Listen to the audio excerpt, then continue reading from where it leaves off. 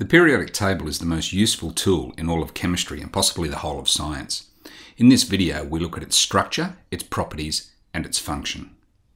But before we launch into a description of the periodic table of the elements, let's remind ourselves a bit about elements. We have already noted that, as far as we chemists are concerned, elements are the simplest form of matter that exists and they cannot be broken down into other substances by chemical means. They are the building blocks of matter since two or more elements can combine via chemical reactions to form literally millions and millions of different compounds. They are composed of only a single type of atom, and each atom or element is assigned a name, a symbol, and a number. And the atoms of an element also have their own characteristic mass, known as the atomic mass. We also know that there are 92 naturally occurring elements and that we could list these elements numerically from number 1, hydrogen, to number 92, uranium. We've only listed the first 20 here to save space. We could also list them alphabetically from actinide to zirconium, but either of these two approaches will produce a long, unwieldy list of 92 elements that's not particularly user-friendly. So during the early part of the 1800s, as the list of known elements grew, attempts were made to find some sort of order or pattern among the elements, in particular with regard to their chemical and physical properties.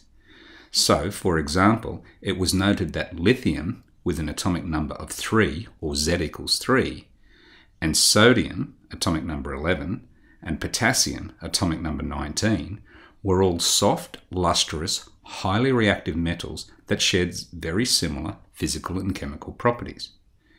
It was further noted that the elements immediately preceding each of these elements in terms of atomic number, helium, atomic number 2, neon, atomic number 10, and argon, atomic number 18, were all inert, non reactive gases that tended not to form chemical compounds. These observations of regular, repeating, or periodic patterns of properties culminated in the independent discovery of what is now known as the periodic law by both Dmitri Mendeleev and Julius Meyer in 1869. The modern version of the periodic law states that when the elements are arranged in order of increasing atomic number, elements with similar chemical and physical properties occur at periodic intervals. The work of Mendeleev and Meyer led to the development of a graphical representation of the elements, which we call the periodic table. And we see a modern form of that graphical representation here, starting with number one, hydrogen, in the top left hand corner, moving across to number two, helium. We come back to the next horizontal row, lithium at number three, going across the second row all the way to neon at number 10, and so on down through the periodic table until we get to number 92 uranium at the bottom of the table. In words, the periodic table can be described as an arrangement of elements in order of increasing atomic number in which elements of similar chemical and physical properties are placed in vertical columns known as groups. So for example, lithium, sodium and potassium all share similar chemical and physical properties and are all placed in the same vertical column or group. Similarly, helium, neon, and argon are all noble gases. They tend not to react. They're all non metal gases at room temperature, having similar physical and chemical properties. And so they are also placed in their own same vertical column or group. Now, you will generally have a copy of the periodic table at hand during your chemistry studies, so detailed memorization is not normally required. However, being able to recall specific information of the first 20 elements or so will be very useful. What's more important to learn is how to use the periodic table, and there are many useful trends that you can predict from the position of an element in the periodic table. So, for example, you can predict the relative size of atoms, the relative size of ions, ionization energies, electron affinities, valency and ionic charge, and therefore, most importantly, you can predict chemical formulas of compounds containing a particular element. And you can do all of that based on the position of an element in the periodic table. For now, however, let's look at some of the general features of the periodic table and its structure. Each element on the periodic table is represented by a square box containing useful information about that element. At a minimum, all versions of the periodic table should give the atomic number of an element, its chemical symbol, and its atomic mass. The elements of the periodic table are separated into main group elements, which include both the S block and the P block elements on the left and right hand sides of the periodic table, respectively. The middle of the periodic table is dominated by the transition metals, or D block elements, while the inner transition metals, or F block elements, are separated from the main body of the table at the bottom. These S, P, D, and F block groupings arise out of the different ways that electrons are arranged or configured around atoms of elements in each group. And we go into the electronic structure of atoms and elements in more detail in later videos. The seven horizontal rows of the periodic table are called periods. There are two elements in the first period, eight elements in the second period, eight elements in the third period, increasing to 18 elements in the fourth period and 18 elements in the fifth period. Now, it may look like there are 18 elements in the sixth period as well, but there are actually 32 elements in the sixth period because if we start at element 55 in period 6 and go across to 56, we see we jump to 71. So elements 57 through to 70 in the bottom part of the periodic table are effectively squeezed into where this solid line is on the periodic table. So these extra 14 elements actually make 32 elements in total for period 6. Now period 7 only has 6 naturally occurring elements, starting with francium and radium at 87 and 88, and include the four elements in the actinide series, culminating in uranium at number 92. The rest of the elements in period 7 are called the transuranic elements, and these are unstable, synthetically produced elements that we tend not to have to concern ourselves with in our chemistry studies.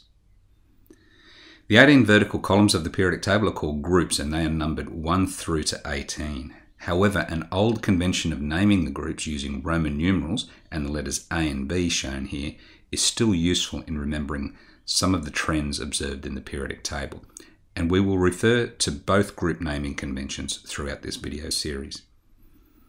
The names of some of the most important groups of the periodic table are shown in this table here. Group 1 or Group 1A elements are known as the alkali metals. Group 2 or Group 2A elements are known as the alkali earth metals. Over on the right hand side of the periodic table, Group 16 or Group 6A elements are called the chalcogens or chalk formers. Group 17 or Group 7A are the halogens or the salt formers, and Group 18 or 8A are the noble gases, and they are the gases that tend not to form chemical compounds and tend not to take part in chemical reactions. The elements of the periodic table are roughly divided into metals and nonmetals by a thick staircase line running from boron at the top to astatine at the bottom. The elements on the left hand side and in the middle of the periodic table are metallic elements or metals, with the exception being hydrogen at number one. Therefore, the majority of the 92 naturally occurring elements are metals. Now, metallic elements share certain physical and chemical properties.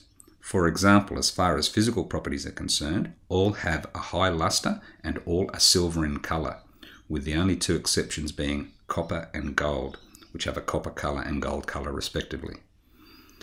All metals have high electrical conductivity and high thermal conductivity. They are solids at room temperature with the exception being mercury, and most of them are ductile and malleable, which means they can be drawn into long thin wires or pressed down into thin sheets. And most metals have high melting points, again the exception being mercury. The most important chemical properties that metals have is that they tend to lose electrons to other substances in chemical reactions to become positively charged ions, which we call cations, and more on that process in later videos.